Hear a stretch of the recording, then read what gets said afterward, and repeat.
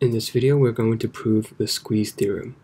So let's say we have three functions. We have a function called g, and then we have a function called f, and then we also have another function called h. And we know that g of x is smaller than or equal to f of x, which is always smaller than or equal to h of x.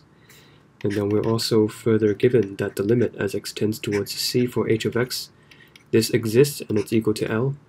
And the same goes for the function g, because x tends towards c for g of x, this limit also exists and is equal to L. And what I want to prove in this video is that the limit as x tends towards c for f of x, given all this information over here, we can immediately conclude that the limit as x tends towards c for f of x is also equal to L. So this is what we want to prove in this video. And in order to represent this graphically, uh, you can kind of represent everything in such a way. So you have your x-axis, and let's say this point over here is c, and then you have a function. Let's say this is the graph of g of x and then let's say this is the graph of h of x and then let's say this is the graph of f of x. So you see that f of x is always trapped between h of x and g of x and then as x tends towards c you can see that both the functions h and g tends towards the value l and then what I want to prove is that uh, given all the, these conditions over here uh, f of x must always have a limit as x tends towards c and it must be equal to L.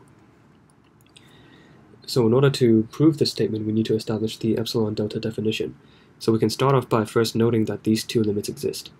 So what that means is that for whatever value of epsilon that I come up with, I know that first of all there must exist values delta 1 and delta 2, which are both larger than 0, such that when x minus c is smaller than delta 1, then this immediately implies that g of x minus L is smaller than epsilon. And then I also know that x minus c, if it's smaller than delta 2, then I immediately know that h of x minus L is smaller than epsilon. So for whatever value of epsilon that you come up with, I know that these values delta 1 and delta 2 must exist because I know already for a fact that these two limits exist. So there must always be values delta 1 and delta 2 such that if the, these conditions are met, then these two statements are true. And then now I'm going to define a new symbol called delta that's equal to the minimum of delta 1 and delta 2.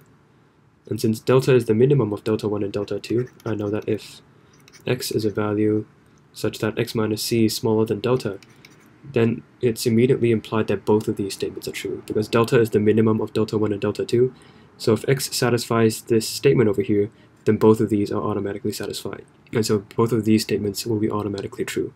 So if x minus c is smaller than delta, then I know for a fact immediately that g of x minus L must be smaller than epsilon, and h of x minus L must also be smaller than epsilon. So this is something that we're going to be uh, using in order to complete our proof. So now we know that when x minus c is smaller than delta, we know that these two statements are immediately true. So I'm going to rewrite them in a slightly different way. So instead of using an absolute value, I'm going to express, first of all, this g of x minus L as being between uh, negative epsilon and epsilon.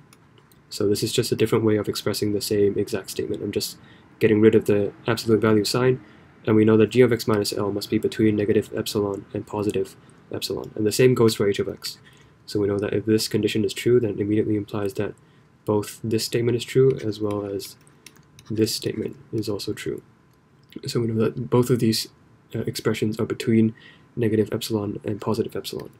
And then it is also immediately implied, I'm just going to uh, add L to each one of these uh, terms. It's going to be implied that L minus epsilon will always be smaller than g of x, which will always be smaller than L plus epsilon. And the same goes for h of x. So L minus epsilon is smaller than h of x, which is smaller than L plus epsilon. And then now I'm going to use the fact that we know that h of uh, f of x is always between g of x and h of x. And then we know that from here, we know that g of x is always larger than L minus epsilon. So for this entire statement, I can always also add this L minus epsilon over here. Because if I know that if x minus c is smaller than delta, then it's immediately true that g of x is always larger than L minus epsilon. And the same goes for h of x. I can impose this upper bound upon h of x. I know that h of x must always be smaller than L plus epsilon. And then from this entire statement over here, now I can drop these two uh, g of x and h of x terms, and then we'll get L minus epsilon is smaller than f of x, which is smaller than L plus epsilon. And then I'm going to subtract L from each one of these terms, so I get f of x minus L is trapped between negative epsilon and positive epsilon. And of course I can now use our absolute value sign to express this as f of x minus L is smaller than epsilon. And so basically this concludes our proof. So we have just shown that for whatever arbitrary, uh, arbitrary value of epsilon that you come up with, we can indeed find a delta, such that if x minus c is smaller than delta, then it's implied that f of x minus L is smaller than epsilon. And in this case, delta is going to be defined in such a way. And so there we have we have essentially proved that this limit is also true, provided that we have these conditions.